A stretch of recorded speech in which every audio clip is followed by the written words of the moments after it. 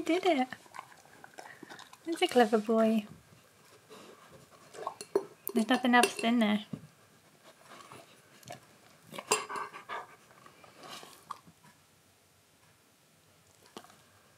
Is